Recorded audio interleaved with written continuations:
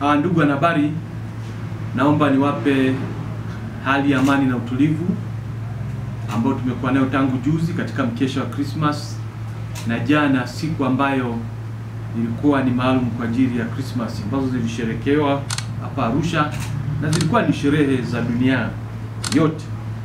Jiji la Arusha limeendelea kuwa shwari na limeendelea kuwa salama kabisa. Taarifa za jana na juzi katika kumbi zote za starehe, maeneo ya barabarani, maeneo ya michezo, kote tumepita salama, na nitumie fursa hii kuwapongeza Wanaarusha. Kwa kweli wameonyesha ustaarabu wa hali ya juu sana, ustaarabu ambao mpaka unapata raha moyoni, pamoja na kwamba jeshi la polisi tuli askari walikuwepo wengi wa kutosha kwenye doria, vijana wetu wa intelijensia, vikosi vya mbwa na farasi, vijana wetu wa field force, vijana wetu wa GD, lakini sifa kubwa lazima nisipeleke kwa raia. Wameonyesha ustaarabu wa hali ya juu, kwa sababu hata kama polisi wapo, kama watu ni kupigana watapigana, kama ni kugombana watagombana, kama ni ajali itatokea, licha ya polisi kuwepo. Kwa hiyo nawapongeza sana, lakini hata hivyo nipende kueleza masikitiko yangu. Jana majira ya saa nne asubuhi imetokea tukio la kusikitisha sana, tukio la kinyama, tukio ambalo kwa kweli sisi kama binadamu tunaopenda binadamu waishi haliwezi kuvumilika.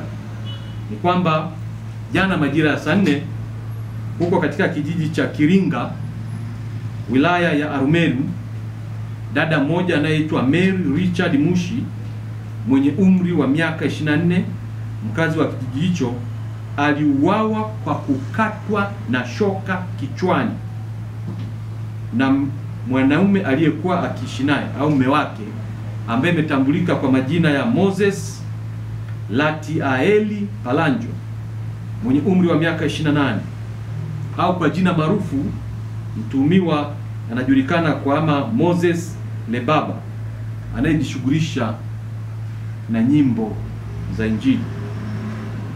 Chanzo cha tukio hili la kusikitisha na la kinyama, bado jeshi la polisi linaendelea na uchunguzi. Lakini hata hivyo, taarifa za awali, kumekuwa kuna taarifa mbalimbali ambazo zimezagaa mitandaoni na kwenye vyombo mbalimbali vya habari. Taarifa ya kwanza inasema kwamba marehemu alikuwa anagombana na na mume wake akidai warudi kwenye mji wao. Pale ambapo mauaji yalitokea ilikuwa ni ukweli na marehemu anasema alikuwa anafanya biashara ya nguo, kwa hiyo alikuwa anaona muda umepita sana.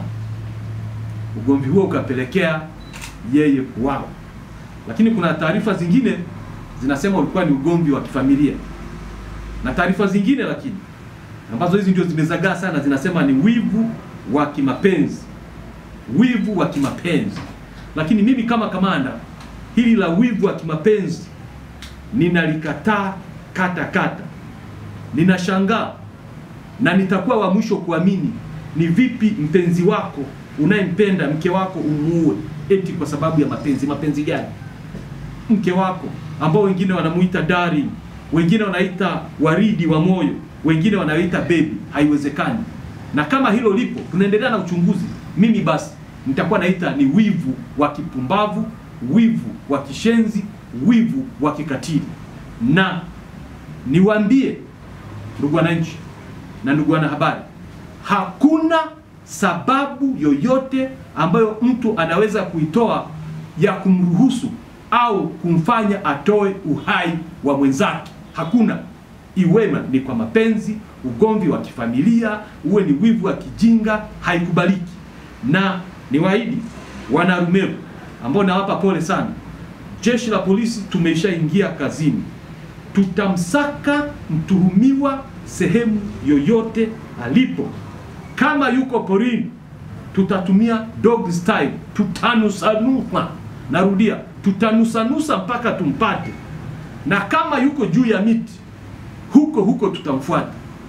Kuna ule msemo wa wazee wenye busara anasema alioko juu msubiri chini. Lakini mimi najiuliza kama kamanda, wewe kama yuko juu ya miti unamsubiri chini, atashuka lini na nani atamshusha? Tutamfuata huko kwa kutumia nyani style. Na kama yuko mapangoni, nasema kwa dhati, kama yuko mapangoni, tutamfuata ndani ya mapango, tunatia gesi, tutapiga, atatoka. Asipotoka tutamfuata huko huko mpaka kieleweke.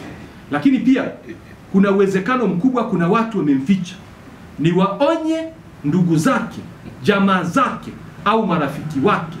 Mtu ambaye ni mtuhumiwa, ukimficha nyumbani kwako, ukimficha uvunguni, jikoni au kwa dari, tukimpata na wewe uliyemficha, tutakushitaki. Ni vema umsalimishe au ajisalimishe yeye mwenyewe. Yeyote ambaye anakuwa na taarifa ya kusaidia jeshi la polisi atupatie, lakini wahakikishie karibu tutampata ndani ya muda mfupi, atakuwa mbaroni ili tumshtaki kwa mujibu wa sheria na taratibu za nchi. TTCL Corporation inakuletea T Burudani app, application inayokupa uwezo wa kuangalia filamu na tamthilia uzipendazo bila intaneti kwa shilingi elfu moja tu kwa siku au shilingi elfu tatu tu kwa wiki au shilingi elfu tano tu kwa mwezi. pakuwa application ya T Burudani kutoka Google Play Store au App Store leo na burudani iendelee.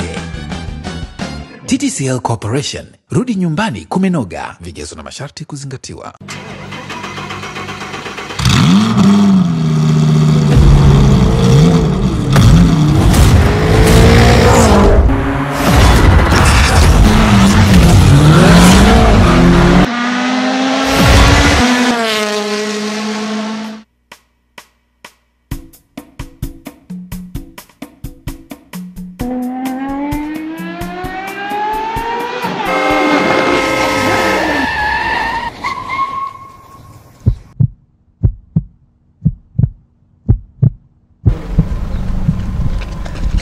Oya, fungua, oya, fungua. Oya, fungua mlango, fungua mlango.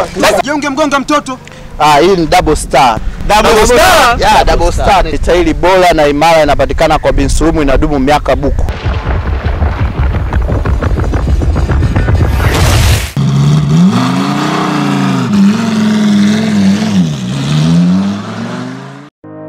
Ili kuwa mwanafamilia bora wa Global TV, usisahau kusubscribe, like, kushare na kucomment. Baada ya kusubscribe, bonyeza alama ya kengele ili kupata taarifa kwa kila video inayopanda Global TV Online.